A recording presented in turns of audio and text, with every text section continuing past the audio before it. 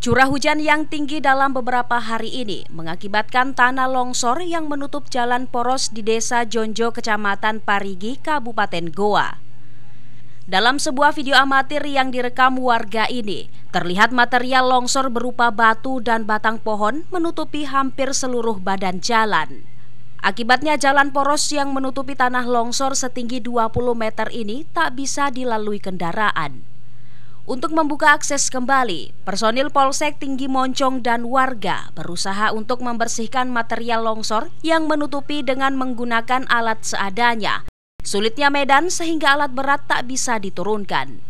Menurut Kapolsek Tinggi Moncong Ibtu Anwar, peristiwa tanah longsor ini terjadi pada pukul 15.00 waktu Indonesia Tengah Senin sore lalu.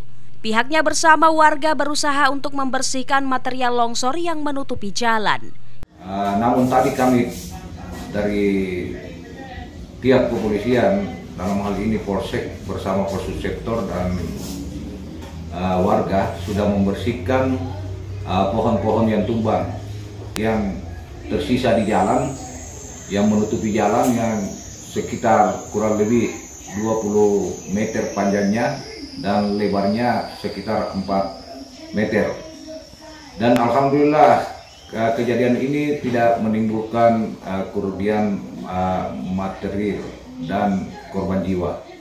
Dihimbau warga selalu waspada menghadapi cuaca ekstrim saat ini untuk mencegah hal-hal yang tidak diinginkan terjadi. Ilham Syam, Fajar TV dan Fajar Radio melaporkan.